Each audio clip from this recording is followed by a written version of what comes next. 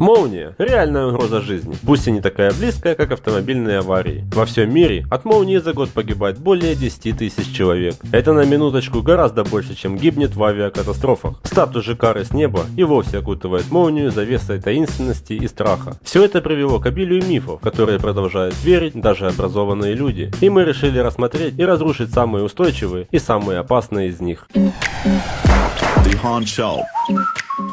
Одно из самых губительных заблуждений о молниях касается уже пострадавших от нее людей. Предание гласит, что человека, в которого ударила молния, нужно обязательно закопать в землю, чтобы вышел заряд, а до того не трогать голыми руками и металлическими предметами. Звучит как полный бред. Тем не менее, более 80% несчастных случаев с людьми заканчивались плачевно именно по этой причине. Окружающие просто боялись их тронуть. На самом же деле, человеческое тело не может удерживать электрический заряд самостоятельно. Не стоит искать спасения от разбушевавшейся стихии под деревом, тем более под высоким. От дождя он вас может быть и спасет, а вот молния вполне может сюда ударить, как в самую высокую на местности точку.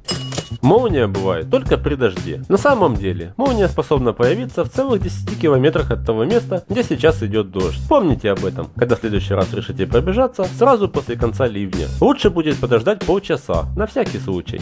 Сапоги на резиновой подошве не смогут спасти вас от удара молнии, вопреки распространенному мнению.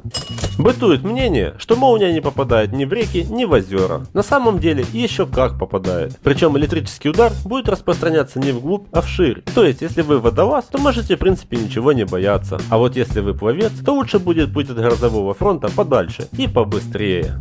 Наушники плеера делают вас мишенью. Нет, не делают. Расстояние от неба до земли настолько велико, что если уж молния и соберется поразить именно вас, то какие-то мелочи вроде отсутствия наушников в ушах ее точно не остановят. Слушайте музыку в свое удовольствие. Вот только делайте это лучше не там, где вот-вот разразится гроза. Мой дом – моя крепость. Ну, что-то вроде того, да. Но очень уязвимая. Водопровод, оконные дверные рамы, электроприборы вполне могут стать отличным проводником для молний. Сетевые фильтры от нее тоже не защищают. Дом, конечно, самое подходящее место, чтобы укрыться от шторма. Но расслабляться здесь слишком не стоит. По крайней мере, не ходите в душ до конца грозы. И постарайтесь лишний раз не пересекать границы дверных проемов.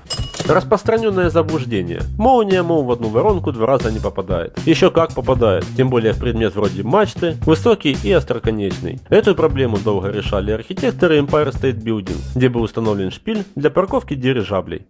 И напоследок народная мудрость. Не плачь, потому что это закончилось. Улыбнись, потому что это было. Ставим лайки, подписываемся на канал Тихон Шоу, рассказываем друзьям и всем спасибо.